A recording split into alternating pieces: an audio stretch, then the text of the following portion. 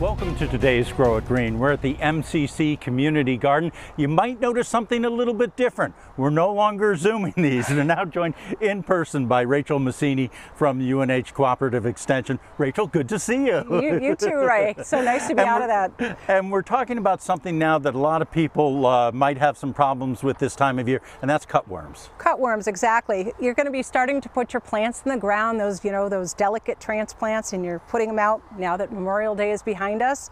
And so what's going to happen is if you do have cutworms, they have overwintered in that um, almost that last instar before they become moths. These are a Lepidoptera, which is a moth.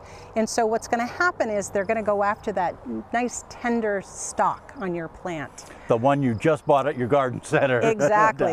All right, so how do I uh, protect my plants from There's a few insects? things you can do. One of them is going to be monitoring. So you want to make sure that you're keeping track of your plants. When you're digging your hole, you might see them in the soil.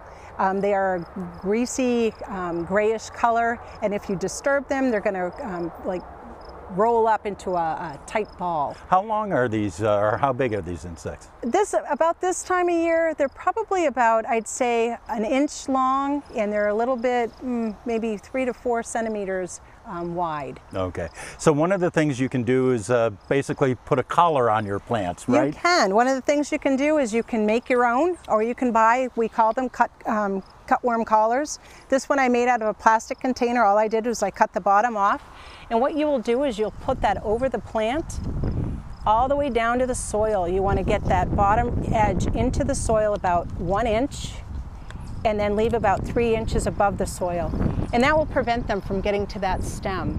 Okay, so and there are other ones that you said uh, you can buy basically cutworm collars. That You can. You can buy um, cutworm collars, or you can again make your own using a um, toilet paper roll or a paper towel roll. You just cut it in the size of your um, your transplant. Okay, and is there anything to do to treat the soil, or at this point not really, just protect the plants? Yeah, just try to protect your plants. All right, would be our and hopefully that way you'll be enjoying your tomatoes and your rest of your plants, and not the cutworms. That's it for today's Grow Green.